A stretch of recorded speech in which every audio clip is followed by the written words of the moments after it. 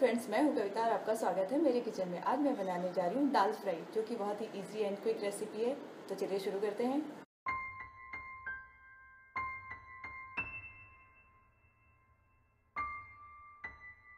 दाल fry बनाने के लिए हमें चाहिए 200 ग्राम तुअर दाल धुले हुए,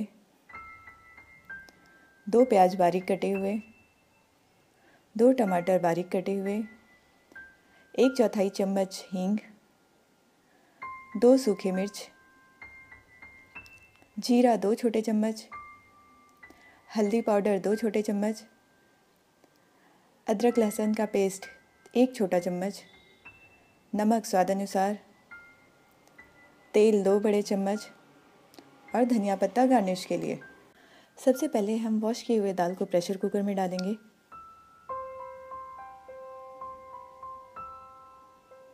अब हम उसमें डालेंगे दो ग्लास पानी।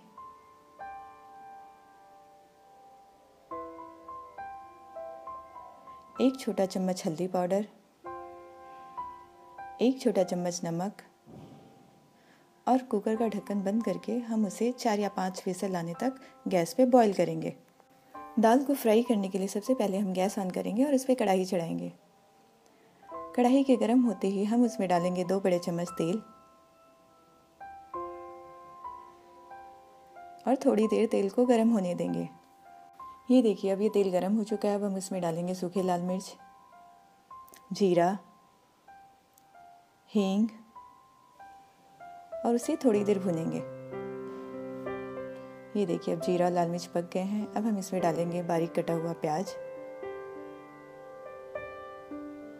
प्याज डालने के बाद हम प्याज को थोड़ी देर तक लो फ्लेम पे फ्राई करेंगे।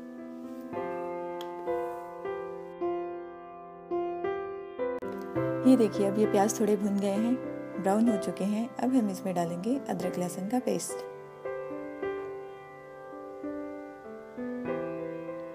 अदरक, लहसुन का पेस्ट डालने के बाद हम उसे थोड़ी और देर भुनेंगे ताकि अदरक, लहसुन का कच्चा टेस्ट निकले। अब हम इसमें डालेंगे थोड़ा सा हल्दी पाउडर। याद रखिए, दाल को उबालते समय भी हमने हल्दी पाउडर यूज़ किया था, इसलिए अभी सिर्फ़ कलर के लिए यूज़ करेंगे।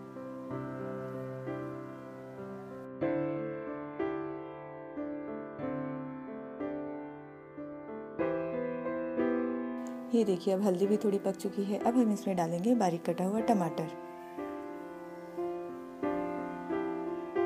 अब टमाटर को हम थोड़ी देर पकाएँगे, जब तक कि वो थोड़ा सॉफ्ट ना हो जाए। ये देखिए, अभी टमाटर पक चुके हैं और प्याज भी भुन गया। अब हम इसमें डालेंगे थोड़ा सा नमक। याद रखिए, दाल को बॉईल करते समय हमने नमक यूज़ किया था। उसे ध्यान में रखते हुए हम यहाँ थोड़ा कम नमक डालेंगे। और इसे मिक्स करेंगे।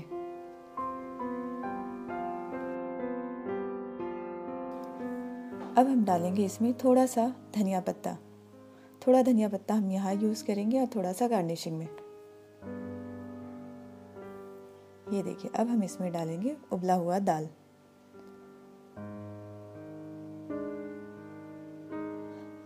दाल अगर ज़्यादा थिक लगे तो आप उसमें पानी भी ऐड कर सकते हैं, उसकी थिकनेस कम करने के लिए।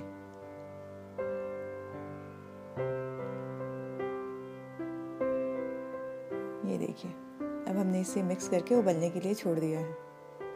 अब ये दाल अच्छी तरह उबल चुके हैं।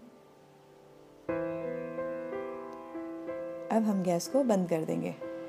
अब ये दाल तैयार हो चुका है। अब हम इसे सर्विंग बाउल में सर्व करेंगे और थोड़ा सा धनिया पत्ता से गार्निश करके गर्मा गर्म प्लेन स्टीम राइस या जीरा राइस के साथ सर्व करें।